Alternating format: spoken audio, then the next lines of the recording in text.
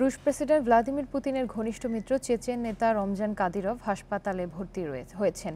তার অবস্থা সংকটাপন্ন বলে জানিয়েছে ইউক্রেনের গোয়েন্দা বিভাগ। কাদিরভের আগের অসুখগুলোই আরও বেড়েছে বলে জানানো হয়েছে। এছাড়া তিনি কোনো আঘাত পাননি বলেও নিশ্চিত করা হয়েছে। একই সাথে তার অসুস্থতার বিষয়ে স্পষ্ট হওয়ায়, হওয়ার জন্য অন্যান্য বিস্তারিত তথ্যের প্রয়োজন বলেও জানানো হয়েছে। এদিকে বলা হয়, মাদকের প্রতি তীব্র আসক্তি থাকায় কাদিরভের শারীরিক অবস্থা গত কয়েক মাস ধরেই খারাপ।